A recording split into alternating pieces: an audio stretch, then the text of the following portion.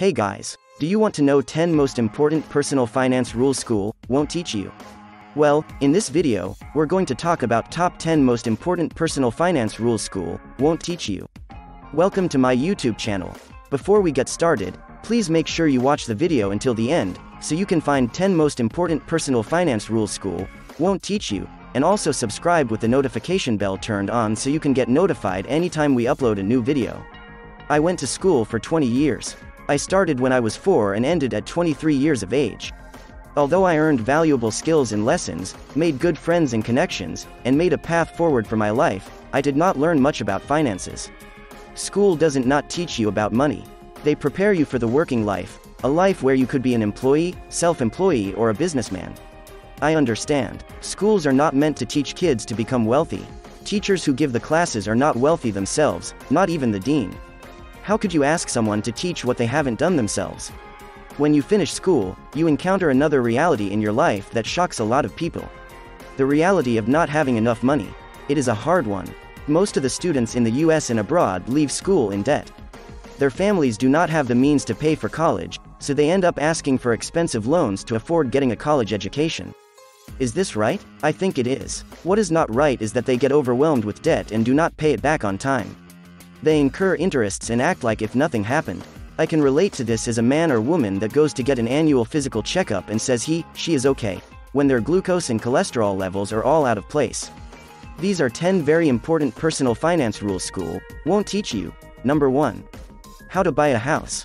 People coming out from school go and get into more debt by owning a house. They are not comfortable enough owing $30,000 or $60,000 in student loans, they need more. They go and get a brand new car, spend at least $30,000 on it, and then go for the most expensive house they can borrow. That is the biggest mistake of your life. I will not go and get more debt if I already have debt in the first place. This has to be taught. I will talk about it so you can learn and teach it to someone younger. When you buy a house, the lender requires you to have a debt to income DTI ratio of no more than 28 to 36%. This means that if you take all your debt and divide it by your income, it should not be more than 36%. If it is more than 36%, they will most likely deny you the loan. Or, you should look for a cheaper house, or put more money as a down payment. Buying a house is a big deal.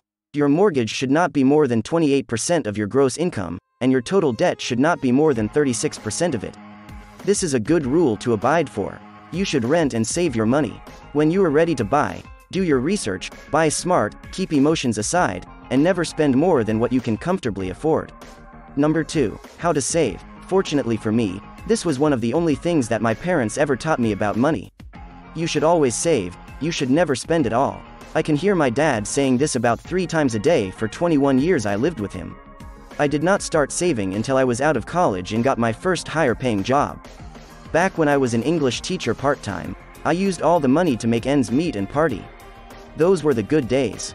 You should always aim to save 20% of your net income every month. Set it aside in an account that is safe and gives you something. It could be a high yield savings account or a CD. I know it is not the best return, but this money is not yet to be invested. Do not take 401k contributions into account for this 20%. Once you know exactly what investment you will pursue, your ROI and risk, go ahead and transfer the money from the account to the investment. This is the way to do it. Be frugal. Do not buy things based on emotions, do it based on rational thinking. Never buy something when you see it the first time. Spend some time thinking before making the expense. Never get monthly installments, unless it is an emergency and you can cover it in less than 12. Number 3. Have an emergency fund. Unfortunately, they don't teach you in school to be prepared for an emergency. They think that parents will take care of it all the time. It is sad, but it is true. What will happen if you lost your income? What will happen if you got into an accident? Those kinds of questions never came up in school. My dad had an insurance that covered my full tuition if he passed away before I finished my degree. That was great. Your emergency fund should have six months of monthly living expenses, so you can live comfortably and not worry as much. I hope you never have to withdraw money from it, but if you do, make sure you live frugally and just use it for basic housing and food needs. Do not go to restaurants and bars with emergency fund money. Number 4. Budgeting. School does not teach you how to budget your money. This is a task for parents. My parents taught me how to handle money, and I learned the hard way as well living on my own. There were times when I did a student exchange program in France where I did not have enough money to eat.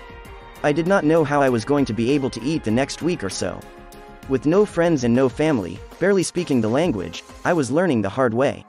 You have to know how much money is coming in and how much money is coming out every month. You need to minimize expenses to the limit and maximize your income to the max. After you do that, your life changes. You are able to save and invest more, have an emergency fund, pay off debt, and live happier.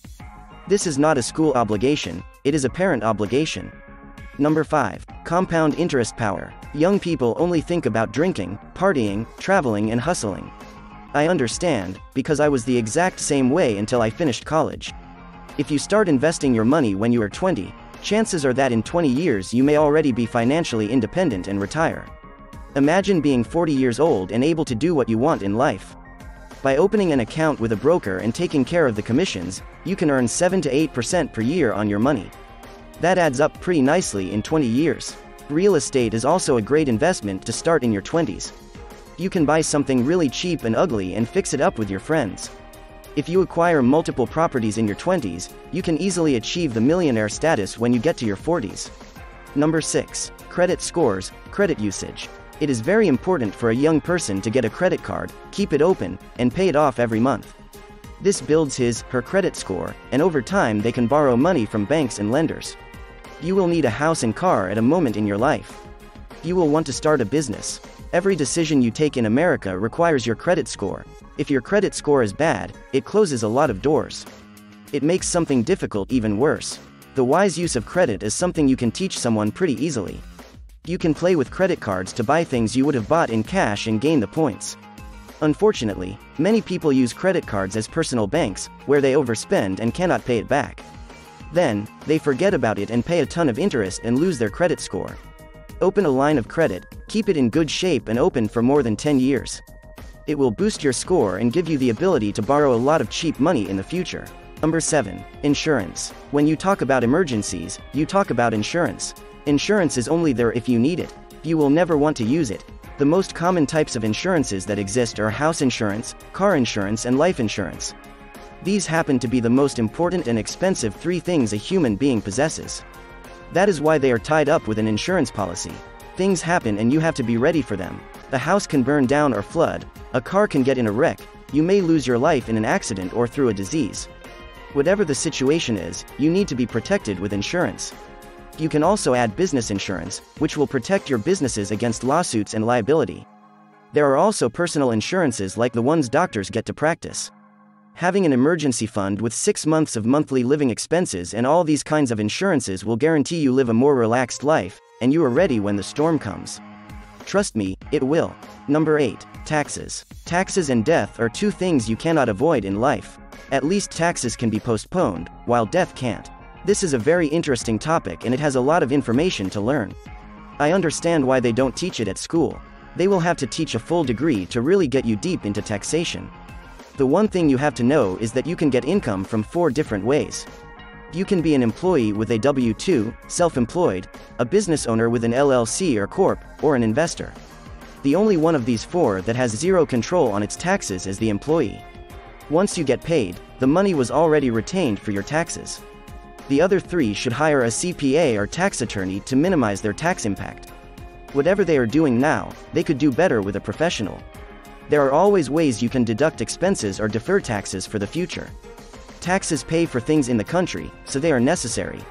Make sure you pay your fair share of taxes without leaving a tip.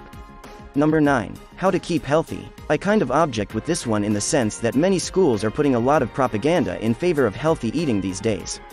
I think that 20 years ago this was a complete reality. When I was in school back in the days, no one ever talked about health or healthy eating. They just told us to exercise three times per week and that was it. By the way, nobody did. Around 20% of the people I hanged out with really did some sort of constant exercise. I always lifted weights and did cardio since I was 18. Nowadays, I eat way healthier than when I was in my college years. I will come up with my first book that talks about how a foreigner can be successful in America and the world, and it has a whole chapter on healthy lifestyle you will enjoy. This is also taught in the house, not in school. If your parents don't know any better, you will come out of your house with bad eating and exercising habits. Don't blame them. Blame it on you, that you received a college education and you cannot self-learn. There is so much information on YouTube and Google that tells you exactly what you should and shouldn't be eating and how you should be exercising. Do not start blaming others for your gut. It is all on you. Number 10. College debt is not 100% necessary. Schools are never going to teach you not to attend school. I mean, you have to be kidding me on this one. What I mean with this is that every student out there has options. When I listen that someone owes more than $100,000 in student loans, I really dig in on why that was possible. The reason is always because they chose an expensive major or the school is an expensive private one.